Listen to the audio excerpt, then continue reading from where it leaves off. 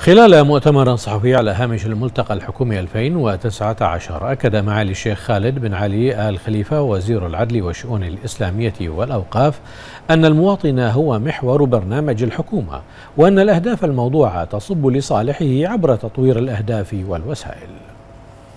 الهدف الرئيس في أي إجراءات تتخذها الدولة هو أن يكون المواطن هو محور وهو الغاية الأسمى لكل تلك الإجراءات.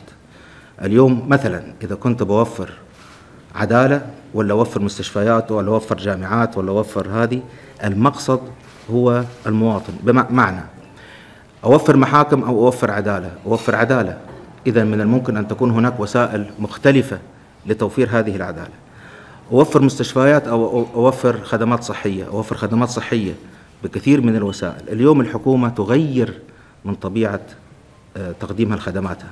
ولكن وصولا إلى خدمات أرقى وبطريقة مختلفة. في الأخير الهم هو أن يكون المواطن المستفيد الأولى الأول والأولى بهذه آه، الخدمات.